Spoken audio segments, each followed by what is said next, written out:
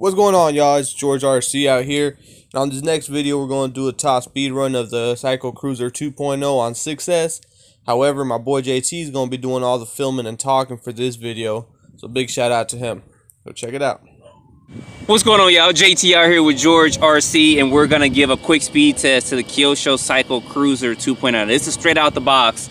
Um, he's running 6S on it. And we were running this earlier, so it may be a mile to per, per mile, mile per hour or two slower than it would be if um, you just ran a fresh battery out. So the GPS is zeroed out 6.4 miles per hour, and he's gonna go ahead and get this thing going.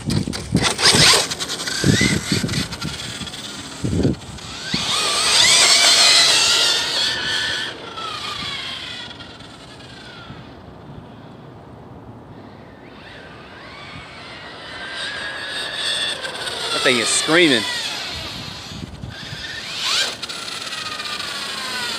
All right, let's see what we got.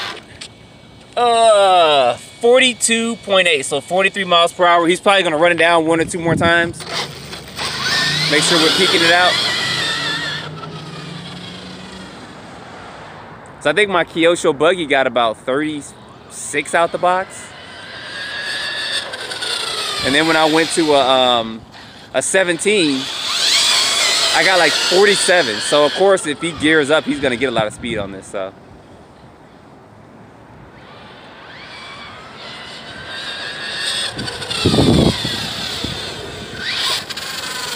All right, let's see what he got on here real quick.